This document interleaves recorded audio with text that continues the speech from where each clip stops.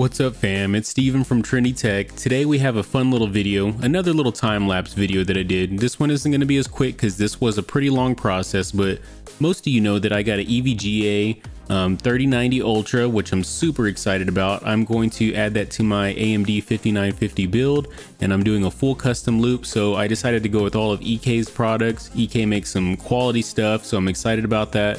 I scooped up the Quantum Vector water block and the backplate. Not the active backplate, but the just a regular nickel backplate. Nickel backplate.